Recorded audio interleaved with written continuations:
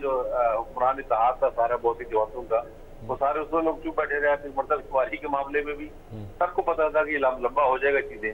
उस वक्त मुझे लगता है कि सब लोगों ने जिसमें सिविल सोसाइटी समझ ले मीडिया समझ ले मीडिया बेचारा मतलब कहाँ रह गया वैसे। हम्म। लेकिन जितना भी चलो अहले कलम है रेल लोग है उस वक्त इस पे कंसेंसिस करके थोड़ा सा प्रेशर डिवेल्प किया जाता है उस वक्त बात की जाती है कि मरदमशुमारी को जब आप अप्रूव कर रहे हैं तो ये तो इलेक्शन पे लंबा हो जाएगा। हम्म। उस वक्त ये बात किसने पुरजोर अंदाज में कही नहीं।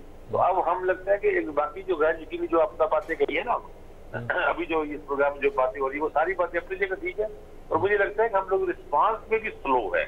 हमें बाद बात जो फौरी रिस्पांस या चीज़ की बजाय हम कुछ अर्से बाद हो रहे थे वो हमारे साथ तो ये हो गया। तो आप तो बहरहाल जो हमें आगे की तरफ़ बढ़ना चाहिए वो ये है कि मेरा ख्याल है अब इलेक्शन कमीशन को कोई डेट अनाउंस कर देनी चाहिए चाहे वो जनवरी के एंड में कर रहे हैं अट्ठाईस जनवरी कर रहे हैं अगर इवन फरवरी के भी पहले दूसरे हफ़्ते में करना है जो भी ये करना है कोई एक क्लियर डेट दे और ठीक है ये बर्फबारियाँ भी होंगी कुछ जगहों पर लेकिन वो चंद एक हल्के होंगे अगर वो पाँच सात हल्के से ज़्यादा दस से ज़्यादा नहीं होंगे मेरा ख्याल है उससे भी शायद कम हो अ, कौमी असम्बली के तहत तो अगर वो चांसेस होते भी है कुछ जगहों पर तो वहाँ री इलेक्शन हो जाएगा।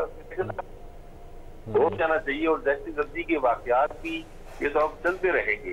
पी का जितनी बड़ी और इधर बलूचिस्तान में जो अस्सी तंजीमों के चैलेंजेस हैं वो तो बढ़ रहे हैं। बलूचिस्तान में जैसे ही हमने देखा है कि जैसे ही ये सब पुरानी हिस्ट्री है पिछले कई सालों में जैसे ही डेवलपमेंट के बड़े प्रोजेक्ट सामने आती है लगता है कि पाकिस्तान की तरक्की करेगा बाहर की इन्वेस्टमेंट हो रही है हमारे दोस्त हमारे बड़ी इन्वेस्टमेंट करने जा रहे हैं। उस वक्त ऐसी बदमनी दहशत गर्दियाँ ऐसे वाकयात सिक्योरिटी सारे आना शुरू हो जाती है। तो इसलिए हमें तो उन सब चीज़ों का वादियों की इनका मुकाबला करते हुए हमें एक करार देनी चाहिए। इलेक्शन और एक डेट अनाउंस कर देनी चाहिए ताकि पोलिटिकल सरगर्मी हो शुरू। और मैं तो मेरी तो शदीद ख्वाहिश है मैं तो बाकायदा सच्ची बात है दुआ गो हूँ कि मियाँ नवाज़ शरीफ साहब इक्कीस अप्रैल को आ जाए। क्योंकि आने से बहुत सारी जो गैर यकीनी सूरत खत्म हो जाएगी इलेक्शन के बारे में।